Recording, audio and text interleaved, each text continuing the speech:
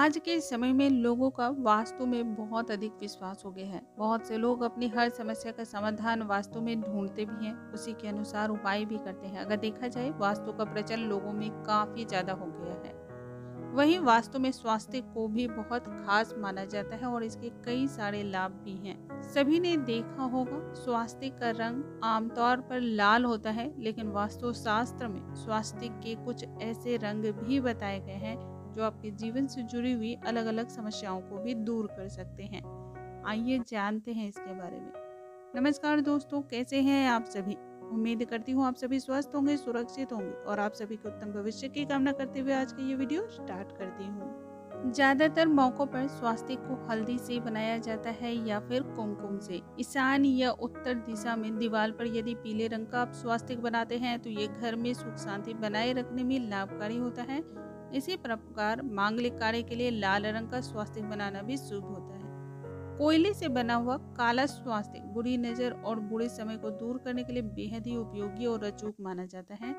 आपके घर परिवार के सदस्यों पर या आपके व्यवसाय को किसी की भी बुरी नज़र लग जाती है तो इस बुरी नज़र के कुप्रभाव से बचने के लिए अपने घर के मुख्य द्वार पर कोयले से एक स्वास्थ्य का चिन्ह बना लें।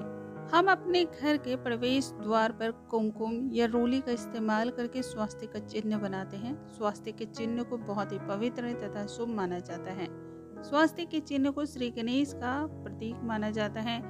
ऐसा माना जाता है कि स्वास्थ्य के चिन्ह को बनाने से घर पर इसका शुभ प्रभाव पड़ता है तथा घर में सुख और समृद्धि आती है। किसी व्यक्ति को रात को सोते समय ये सोने के बाद बुरे सपने आते हैं तो इसके लिए सोने से पहले अपनी तर्जनी उंगली से लाल स्वास्थ्य का चिन्ह बना लें और इसके बाद ही सोने जाएँ। स्वास्थ्य का प्रयोग शुद्ध, पवित्र और सही ढंग से उचित स्थान पर बनाना चाहिए। शौचालय एवं गंदे स्थानों पर फूल का भी इसका प्रयोग नहीं करना चाहिए। ऐसा करने वालों की बुद्धि तथा विवेक समाप्त होती है। घर में दरिद्रता, तनाव और रोग एवं क्लेश में वृद्धि होती है। दोस्तों, मुझे उम्मीद है आज की ये जानकारी आप सभी को बहुत अधिक पसंद आई होंगी। ऐसी और भी बहुत सारी जानकारी के लिए हमारे चैनल पर लगातार बने रहें। अगले वीडियो में एक नई जानकारी के साथ फिर से मिलूँगी। तब तक के लिए नमस्कार दोस्तों।